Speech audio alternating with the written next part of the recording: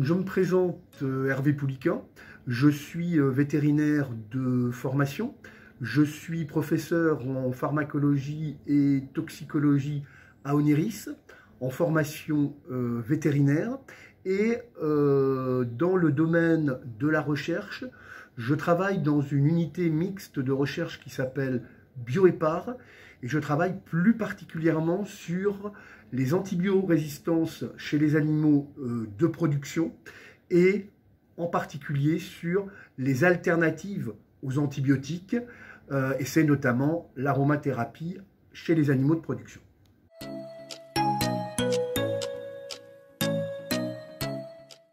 Alors il faut savoir en médecine vétérinaire que chaque année paraît un rapport qui s'appelle le RESAPAT et qui permet de faire un état des lieux épidémiologiques des résistances, euh, ce chez les différentes espèces animales. Dans le dernier rapport, qu'est-ce qu'il faut retenir? Que la proportion de résistance aux céphalosporines de troisième et quatrième génération, qui sont des antibiotiques critiques, varie chez les animaux de 2,3 à 6,5 de la même façon, la résistance aux fluoroquinolones, qui sont également des antibiotiques critiques utilisés en médecine humaine et animale, varie entre 3,5 et 8% selon les espèces animales. Mais le plus important à retenir est peut-être que les tendances à la baisse pour les antibiotiques critiques, qui sont observées depuis plusieurs années, se sont confirmées euh, l'an dernier. Enfin, dernier point, sur la colistine, un antibiotique là aussi que certains médecins considèrent comme euh, critique, il faut savoir que l'exploitation des différentes données que l'on a aujourd'hui à l'échelle populationnelle montre une situation maîtrisée depuis 10 ans avec une augmentation constante de la proportion non pas des souches résistantes mais des souches sensibles.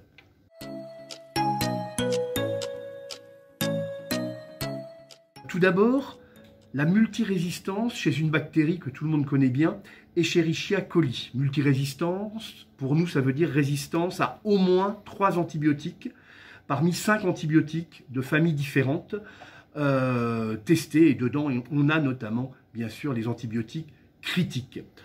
En sept ans, cette proportion de souches sensible a légèrement augmenté chez les bovins. Elle a été multipliée par deux ou plus d'ailleurs chez euh, dans les filières euh, porcines euh, et avicoles. Mais c'est chez les bovins et chez les équidés que l'on trouve aujourd'hui le plus de souches multirésistantes d'Escherichia coli.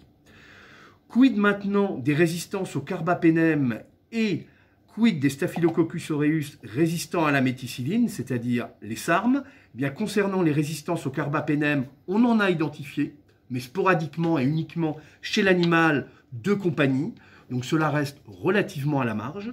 Concernant les SARM, ça reste également un sujet marginal en médecine vétérinaire, même si un gène, le gène MEC-A, a été retrouvé de façon relativement importante chez Staphylococcus intermedius, qui est vraiment la bactérie pathogène du chien euh, et non pas Staphylococcus aureus.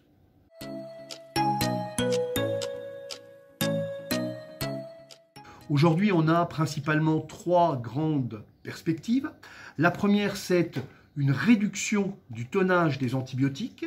Et aujourd'hui, il faut savoir que depuis six ans à peu près, la consommation d'antibiotiques a été diminuée d'un peu plus de 38% en médecine vétérinaire, ce qui est quand même loin d'être anodin, et cela continue. La deuxième euh, perspective est de réviser les posologies des anciens antibiotiques, c'est-à-dire des antibiotiques qui ont eu des AMM il y a 20 ou 30 ans, et je pense notamment aux antibiotiques de la famille des bêta-lactamines et des tétracyclines, très utilisés aujourd'hui en médecine vétérinaire. Et puis enfin, la, troisième piste, et c'est cette piste sur laquelle je, je travaille notamment en recherche, c'est d'essayer d'utiliser le levier de l'immunologie, et donc d'essayer d'utiliser des molécules qui effectivement doperaient en quelque sorte l'immunité, et on peut citer dans ce cadre-là les pistes des prébiotiques, des probiotiques et euh, des plantes au sens large, incluant l'aromathérapie.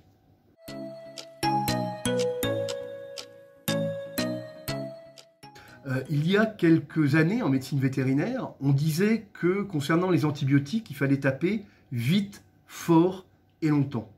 C'est vraiment quelque chose qui, aujourd'hui, n'est plus du tout d'actualité, et si j'ai un message à faire passer, c'est de frapper non pas vite, mais euh, vraiment d'essayer de frapper en fonction du diagnostic que l'on fait, avec un isolement bactérien ou non et avec un antibiogramme.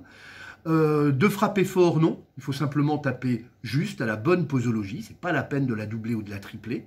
Euh, et de frapper longtemps, certainement pas, parce qu'aujourd'hui, pour la majeure partie des pathologies, un traitement de 4 à 6, 7 jours suffit, sauf cas très particulier, bien sûr, d'affections cutanées ou autres, où il faut des, semaines de traitement. Donc arrêtons de dire frapper vite, fort, longtemps, mais frappons effectivement euh, plutôt de façon juste après un bon diagnostic et un temps euh, de traitement relativement court.